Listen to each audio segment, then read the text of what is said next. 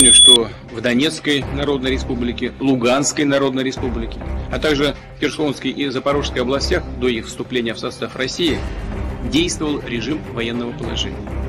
И сейчас нам необходимо оформить этот режим уже в рамках российского законодательства. Поэтому мною подписан указ о введении военного положения в этих четырех субъектах Российской Федерации.